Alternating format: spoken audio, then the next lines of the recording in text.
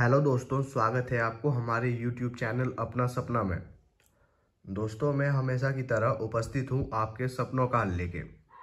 लेकिन दोस्तों, वीडियो शुरू करने से पहले मैं आपको बताना चाहता हूँ कि अगर आप हमारे यूट्यूब चैनल अपना सपना में नए हैं तो हमारे यूट्यूब चैनल अपना सपना को सब्सक्राइब कर लें और साथ ही बेल आइकन को प्रेस कर दें ताकि आपको आने वाले सपनों का मतलब पता चल सके। तो दोस्तों, आज हम सपने के विषय में बात करेंगे। कि अगर आप अपने सपने में पिस्टल यानी रिवॉल्वर जो बंदूक होती है, वो सपने में देखते हैं या उसको चलाते हुए देखते हैं, या कहीं भी बंदूक को किसी किसी भी परिस्थिति में अगर आप सपने में पिस्टल देखते हैं तो यह सपना आपके जीवन में क्या दर्शाता है और आपके आने वाले समय में यह कैसे प्रभावित करेगा।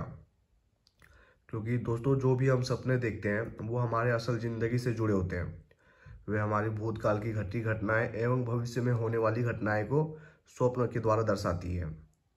कुछ सपने में शुभ संकेत देती है, वहीं कुछ सपने में अशुभ संकेत देती है।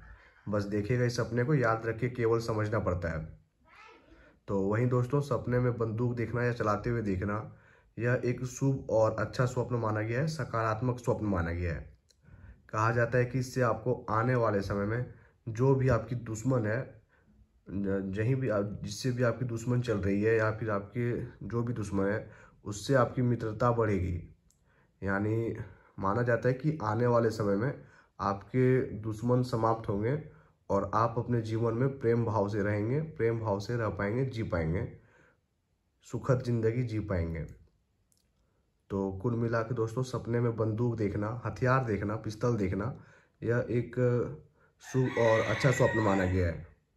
तो उम्मीद करता हूँ दोस्तों कि दी गई जानकारी आपको पसंद आई होगी। धन्यवाद दोस्तों।